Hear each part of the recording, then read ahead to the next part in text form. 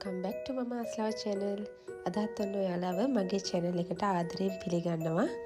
ඉතිං මගේ දුවගේ පසුගිය සතියේ යාගේ බර්ඩ්ඩේක තිබ්බා. ඉතිං යාගේ බර්ඩ්ඩේකට මම ගෙදරම තමයි හැමදේම හැදුවේ. ඉතිං මට හිතුනා ඒ වීඩියෝ එක ඔයාලා එක ෂෙයා කරගන්න. කොහොමද මම එක ඔගනයිස් කරේ කියලා.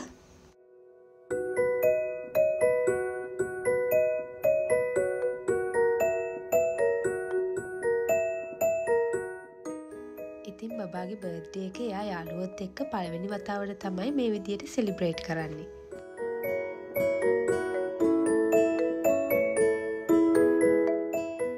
එහෙනම් අපි බලමු කොහොමද මම මේ ටික ඔර්ගනයිස් කරගත්තේ කියලා.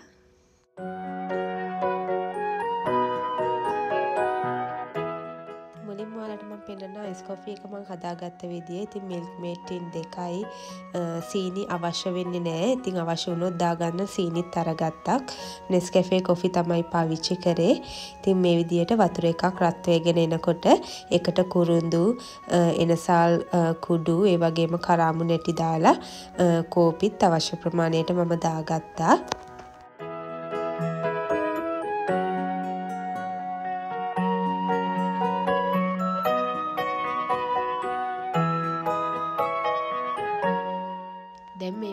විදියට කොෆි එක හොඳට රත් වුණාට පස්සේ එක මිල්ක් මේඩ් ටින් එකක් මම මේකට දාගන්නවා.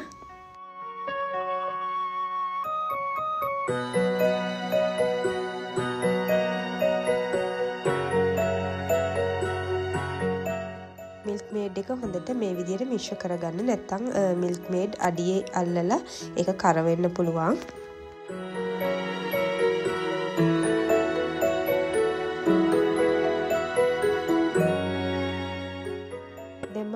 විදියට වැනිලා මූඩියෙන් තුනක් විතර එකතු කරගෙන හොඳට මිශ්‍ර කරගන්නවා.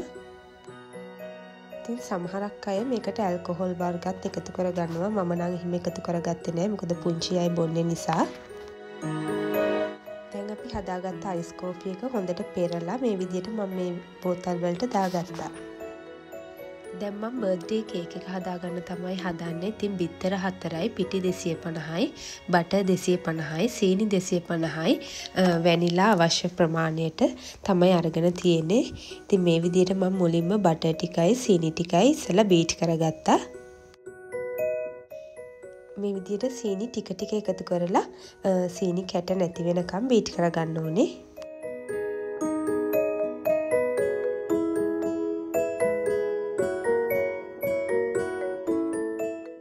අපි ටිකක් වෙලා බීට් කරගන්නකොට මේ විදියට වටේ තියෙන බටර් මිශ්‍රණය මැදට අරගන්න මොකද නැත්තම් ඒ වටේ තියෙන බටර් වල සීනි කැට දිය වෙන්නේ නැති වෙන්න පුළුවන්.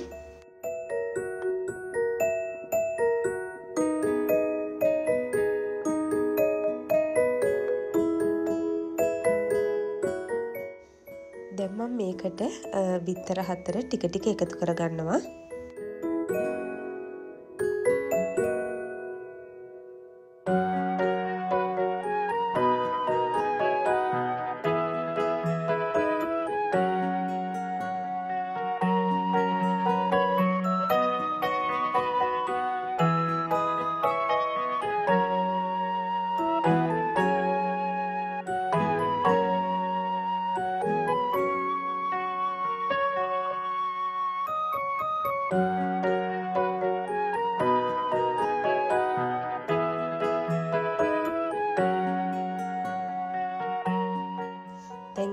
වැනිලත් මේ මූඩියෙන් දෙකක් විතර එකතු කරගන්නවා.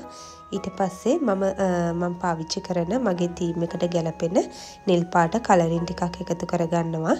මෙතනදී ඔයාලා මතක තියාගන්න කලරින් ගොඩාක් එකතු කරන්න එපා. මොකද පුංචි අය කන දේවල් වලට ගොඩාක් කලර්ස් වර්ග දාන්න එපා. තද පාටවල් ඒ වගේම තමයි අඩුවෙන් පාවිච්චි කරන්න කලර්ස් වර්ග කේක් වගේ දේවල් වලට පාවිච්චි කරනකොට දැම්ම මේ විදියට පිටි ටික ටික එකතු කරලා කේක් බැට එක හදා ගන්නවා. ඉතින් මේ පිටිවලට මම පිටි 250ට බේකින් පවුඩර් තේ හැඳි එකහමාරක් එකතු කරලා දෙපාරක් විතර හලාගෙන තමයි තියෙන්නේ.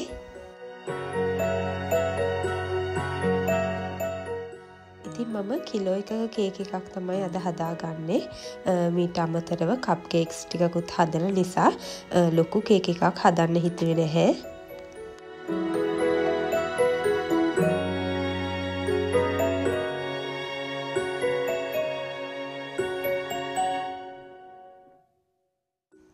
අපි කේක් බැට එක හදාගෙන ඉවරයි. ඉතින් අන්තිමේදී මෙන්න මේ විදිහට ස්පැටියුලා එකෙන් පොඩ්ඩක් මිශ්‍ර කරගන්න. මොකද පිටි එහෙම යට එකතු වෙලා තිබ්බොත් එහෙම ඒව ටික හොඳට මිශ්‍ර වෙන නිසා දැන් මම මේ තැටියට දාගන්නවා. ඉතින් රවුන්ඩ් කේක් එකක් තමයි හදන්නේ. ඒක නිසා මම මේ රවුන්ඩ් තැටියට දාගන්නවා.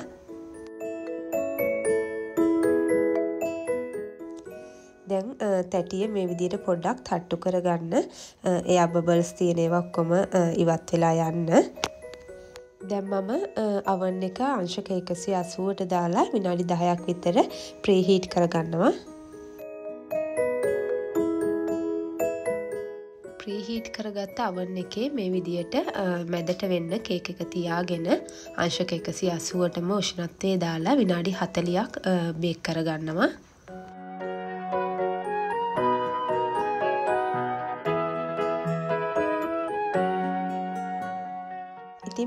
ඉතින් බේකුණාට පස්සේ පොඩ්ඩක් බලන්න ටූත් පික එකක් දාලා හරියටම බේක් වෙලාද ඇතුළ තියෙන්නේ කියලා. ඉතින් මං අද රෙඩිමේඩ් ෆොන්ඩන් එකක් තමයි කේක එක කව කරගන්න පාවිච්චි කරන්නේ. ඉතින් මේ ෆොන්ඩන් එක දාගන්න කලින් මම කේක එක මැද සැන්විච් කරලා වටේ පොඩ්ඩක් අයිසින් තවරලා පැය දෙකක් විතර ෆ්‍රිජ් එකේ තියාගත්තා. මට ඒක වීඩියෝ එකක් ගන්න බැරි වුණා. දැන් මේ විදිහට කෝන්ෆ්ලා ටිකක් දාලා මේ ෆොන්ඩන්ට් එක අවශ්‍ය ප්‍රමාණයට මම දිග අර ගන්නවා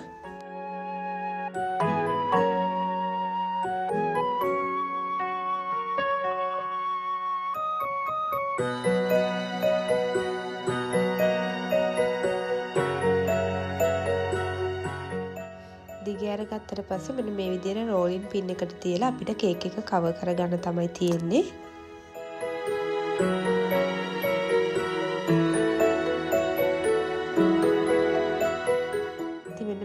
විදියට කේක් එක මම කවර් කරගත්තා.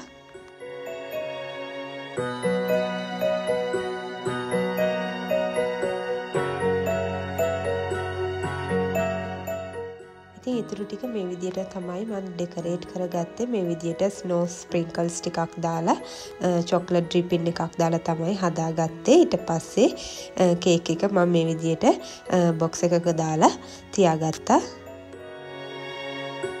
ඉතින් බබාට ඕන කිව්වේ ෆ්‍රෝසන් තීම් එක. ඉතින් ඒක නිසා මම මේ විදියට එල්සා ටොප එකකුත් අරගත්තා. ඉතින් මම ඩෝනට්ස් ගෙදර හැදුවේ නෑ. ඒවා ෆ්‍රෝසන් ඒවා මම කඩෙන් අරගත්තා. අරගෙන මේ විදියට රන්වන් පාට වෙනකම් බැදගත්තා.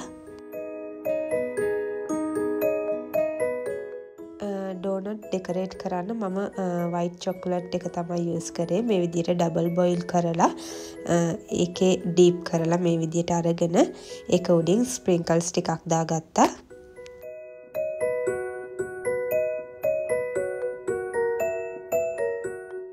පස්සේ මම පේස්ට්‍රි හදන්න මේ විදියට පෆ් ෂීට් එක ඒකත් රෙඩිමේඩ් ඒවා කඩෙන් ගන්න තියෙන නිසා හරිම ලේසි. ඉතින් මේ විදියට සොසේජ් රෝල්ස් ටිකක් හදාගත්තා පේස්ට්‍රි ෂීට් එකේ යොතලා.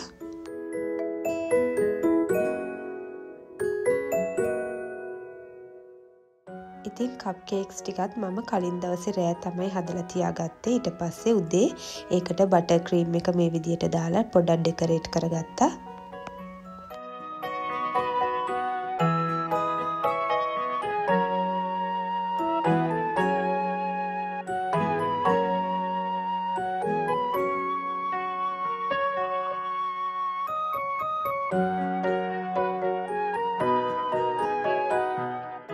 ඉතින් මේ විදිහට තමයි මම ගෙදරදිම හැමදේම හදාගත්තේ. ඉතින් ඔයාලට හැමදේකම වීඩියෝ එක සම්පූර්ණ ගේන්න බැරි වුණා. ඉතින් ඔයාලට අයිඩියා එකක් ගන්න තමයි මම මේ වීඩියෝ එක කරේ.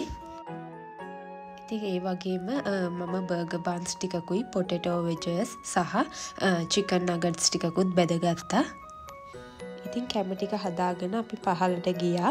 ෆංක්ෂන් රූම් එක පොඩක් ඩෙකරේට් කරන්න. ඉතින් මේ විදිහට තමයි ඩෙකරේට් කරලා අපි කැම ටික එතන තියාගත්තේ. ඉතින් හරිම සතුටුයි. මොකද දුවගේ උපන්දිනය වෙනුවෙන් මගේ අතින්ම තමයි මෙතන හැම දෙයක්ම කෑම හැදුවේ. ඉතින් ඒක නිසා මට ගොඩාක් සතුටුයි මේක දකිද්දී.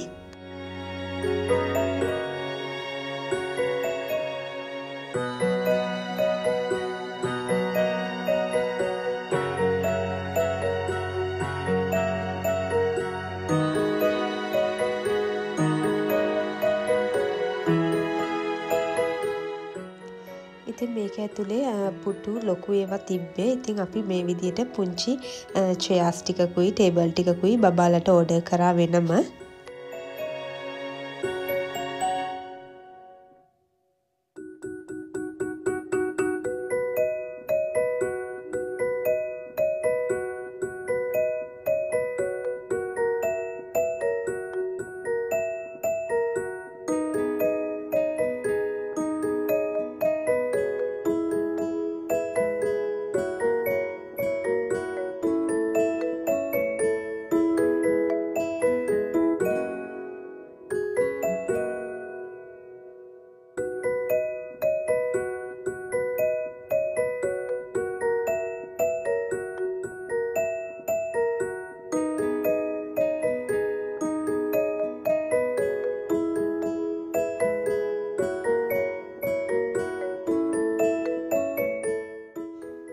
ඉතින් බබාට ඕන කිව්වේ ෆ්‍රෝසන් තීම් එක නිසා එයාට ෆ්‍රෝසන් එකෙන්ම ඇඳුමකුත් අපි ලෑස්ති කරා.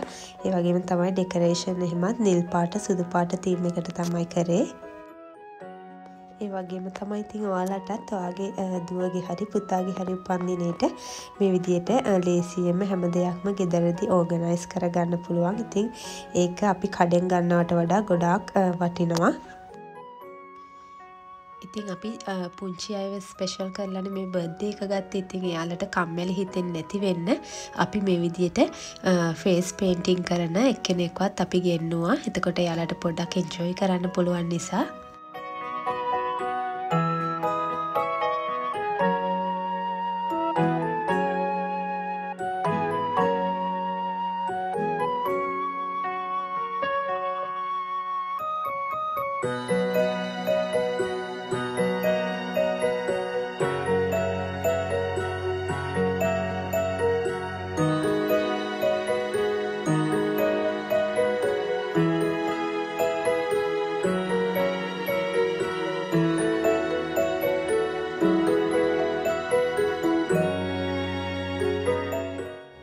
ඔන්න මටත් ආස හිතිලා මමත් ෆේස් පේන්ටින් එකක් කරගත්තා.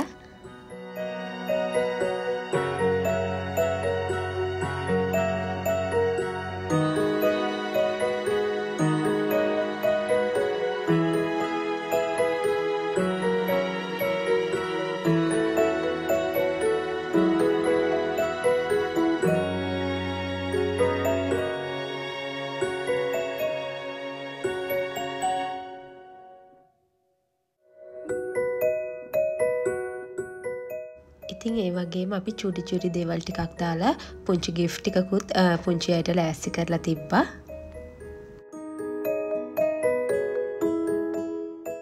ඉතින් ඔයාලා අද වීඩියෝ එකට කැමති නම් ලයික් කරන්න ඒ වගේම සබස්ක්‍රයිබ් කරලා නැත්නම් සබස්ක්‍රයිබ් කරලා channel එකත් එක්ක එකතු වෙන්න කියලා ඔයාලගෙන් ඉල්ලා සිටිනවා. එහෙනම් තවත් දවසක වීඩියෝ එකකින් හමු වෙනතුරු ඔයාලට සුබම සුබ දවසක්.